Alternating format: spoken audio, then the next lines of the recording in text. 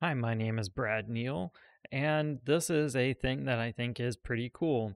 It's called Adobe Spark, and it's free, so that makes it pretty great automatically. Maybe. One of the cool things is, though, with a school account, uh, specifically, um, if your educational institution provides a um, Adobe Premiere account, uh, promote, uh, Creative Cloud account, whatever exactly it's called, um, you get actually a little bit more bang for your buck. Namely, you don't have watermarks on your images that you create. So, what does it actually do? Um, well, I use it uh, in a variety of different ways. It's kind of become my de facto uh, image maker. Um, so if I'm needing to do something like a thumbnail for a YouTube video, um, here on the screen you can see uh, some uh, things that I did to make some stickers because it comes out with pretty high resolution images. Um, yeah, it does a whole bunch of stuff uh, for you. And the thing that I like about it the most is you really don't have to be a graphical genius in order to uh, be able to use this piece of software. Um, and all of the different creations that you make, uh, you can just go back and use and abuse or whatever it is that uh, you see fit.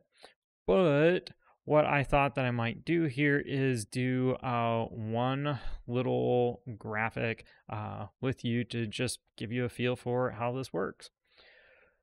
So one of the nice things is, um, and again, I use it just for graphics. I don't use it for much anything else.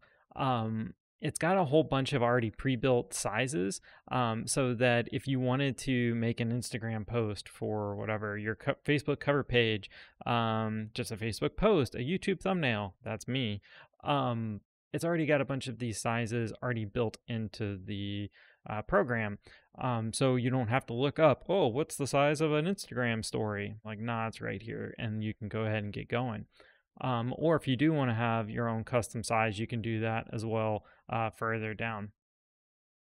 But I'm going to do this little YouTube thumbnail graphic here uh, because I just posted a different video um, and I need to get that going. Okay, so here is uh, the thing that they came up with. Um, cool and all, but uh, not really what I'm going for. So I'm going to go ahead and I'm going to see maybe there's a template that I can start with to see uh, if it would work a little bit better. Um, and so far there's really not been much of anything that's shown up here. Um, so I'm actually, I like the color though. I'm going to actually uh, get rid of a whole bunch of this. Yes, I'm going to uh, delete the cell because why not? And you can hopefully see here as I'm deleting these things, um, there's a whole bunch of layering tools that you can use.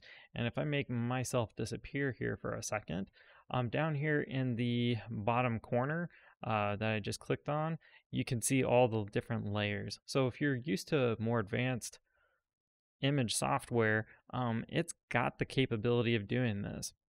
So I'm going to go ahead and I'm going to change this text up here in the top and right, and I'm going to type in things I think think are cool. Actually, I don't think that's what I called that video. I think I called it things that are cool. And I don't really like that font, so I'm going to change the font here. And, ooh, that's a little bit better, actually. I kind of think that's not too shabby. And I can see that, oh, there's like this little blue image behind this that I didn't know was there, but we'll deal with that in a minute. Um, we can change the shape of the text. So uh, there's whole different shapes that you can do, masking, shadows, etc. Shadows I think are cool every once in a while personally. Um, I'm sure that purists can tell me exactly how wrong I am with that in terms of social uh, branding, etc. Um, but then let's say that you want um, to put an image in here. Well, I like this little icon search that is available.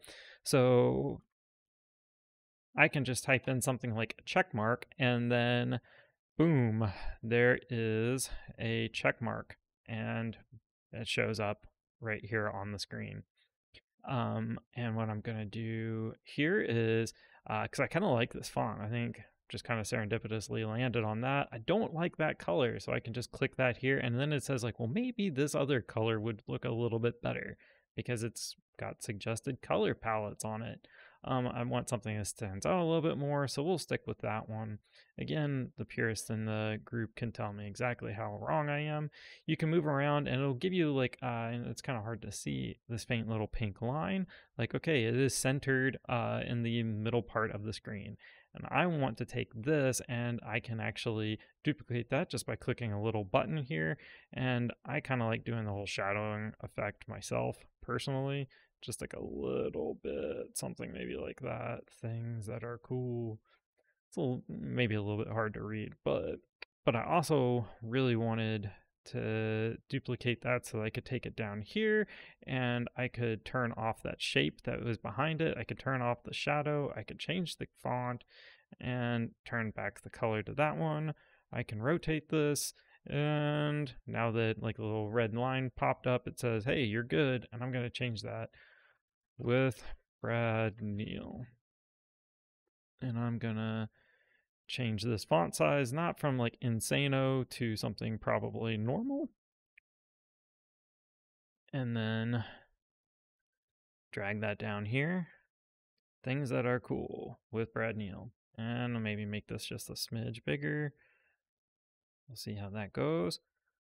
And then I want to make this a little bit bigger and oh no, the layering is all messed up. No, it's not. It's fine because I can just click the layering and hopefully this is making a little bit of sense here. I'm to turn the shape off on it. I'm going to go back over here, turn the shape back off on it. And I'm going to play around with the coloring a little bit here, but that's totally fine by me. Um, yeah, it's a pretty neat little uh, program here for creating free graphics. Um, like, and I, I mean, I just, I don't know. To me, that's just uh, almost worth its weight in gold there. Um, and I would encourage you to play around with it a little bit, uh, see what you do and don't like about it. Um, oh, there we go. Put that black like that. Change up the little uh, spacing here just a little smidge, and I could use my arrow keys and get it a little bit better dialed in. Um, but yeah, Adobe Spark that's the name of this thing. And I encourage you, uh, if you never need to make a graphic uh, for something, it's pretty neat. Highly encourage. Oh, what do you get to publish it as? If you go up to the top, you can download it as a PNG, uh, a JPEG, or a PDF. Um, and if you do the JPEG, you can actually click, uh, you can actually tell it, um, oops, you can give it the ability to have a solid or a clear background. So that's that. Hope this was a monicum of help for you. And uh, yeah, thanks for watching.